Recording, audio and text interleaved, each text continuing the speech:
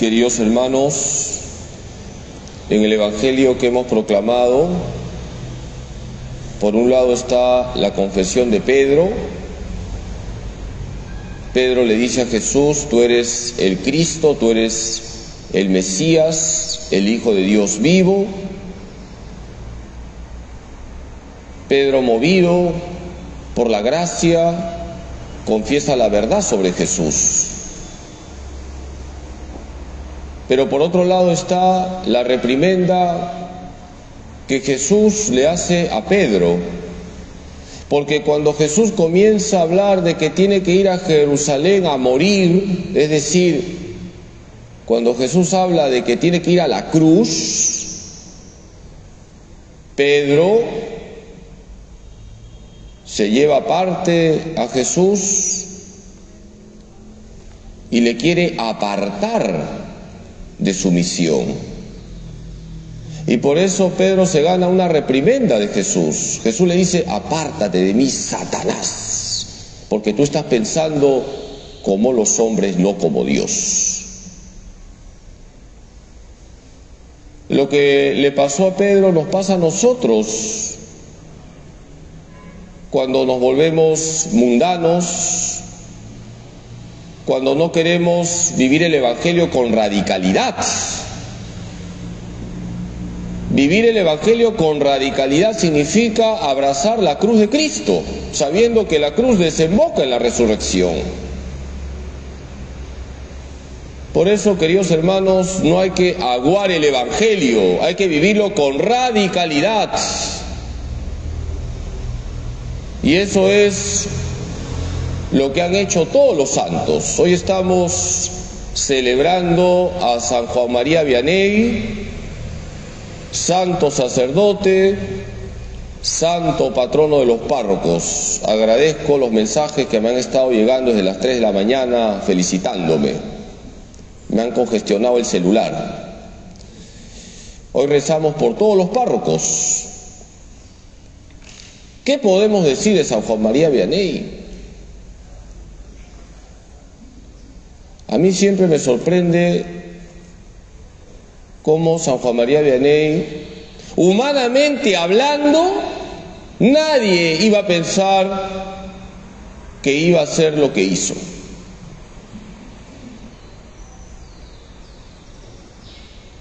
A mí me consuela mucho cuando leo la vida de San Juan María Vianney darme cuenta que él era muy distraído Sí, era distraído. Cuando lo enrolaron al ejército de Napoleón y mandaron al ejército a España, se perdió, se perdió. Y por eso pensaban que había desertado. Luego cuando está en el seminario le cuestan los estudios. Se esforzaba, pero tenía sus límites y lo iban a sacar del seminario, porque le costaba el latín, le costaba la filosofía, le costaba la teología. Ya estaban por sacarlo del seminario, imagínense ustedes, hubiéramos perdido al santo patrono de los párrocos. Y un sacerdote del seminario le dice al vicario general, qué lástima por Juan María, porque no le va bien en los estudios. Hay que sacarlo. Lástima porque es muy piadoso. Y el vicario general dijo, ¿es piadoso? Si es piadoso, que se quede. ¿Por qué lo van a sacar? Que se quede. Dios hará el resto. Y así fue. San Juan María Vianney, con sus debilidades y fragilidades, abrió su corazón totalmente a la gracia y vivió el Evangelio con radicalidad. ¿Y de qué le hablaba San Juan María Vianney a sus feligreses?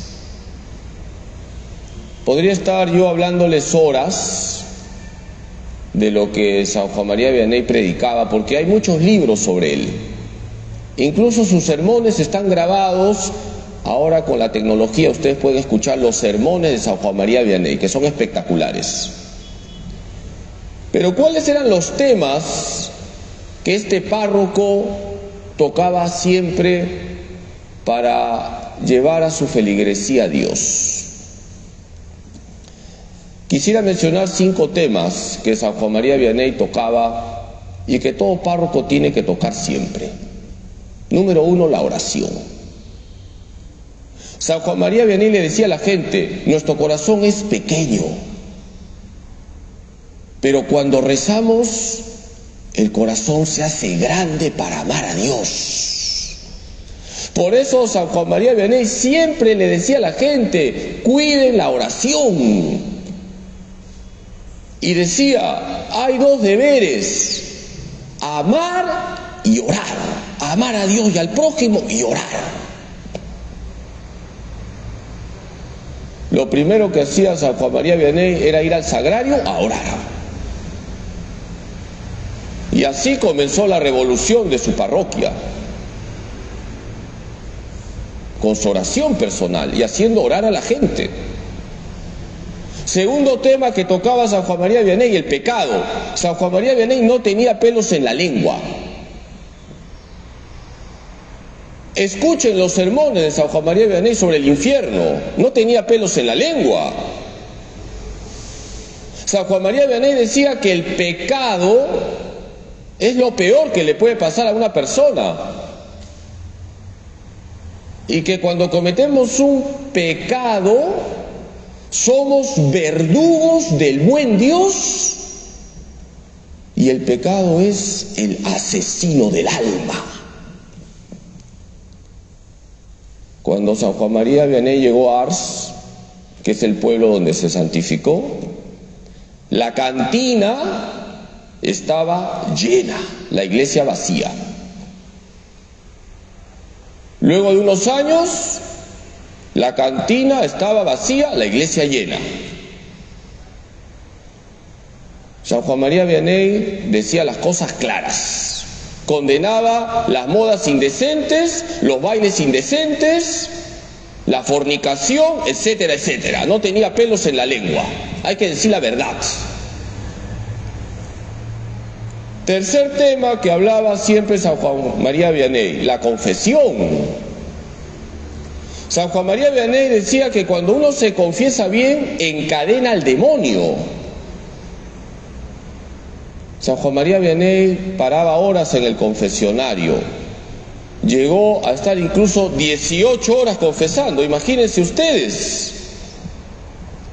Todo sacerdote puede decir que luego de dos horas de confesar ya uno está agobiado, cansado. San Juan María Vianney se sentaba en el confesionario y estaba horas ahí atendiendo a la gente. Cuarto tema que tocaba San Juan María Vianney, la Santa Misa.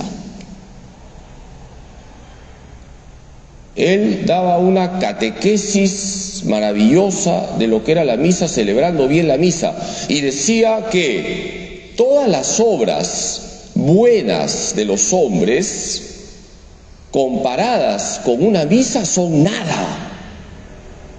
Porque la misa es obra de Dios, tiene valor infinito. Por eso la misa es lo máximo. San Juan María Vianney siempre incidía en que lo máximo es la Santa Misa y nada se compara con la Eucaristía y por eso se esforzaba por celebrar bien la Santa Misa, con fe, con piedad, con mucho amor. Y el último tema que siempre tocaba San Juan María Vianney, ¿cuál creen ustedes que es? ¿Quién me dice? La Virgen María.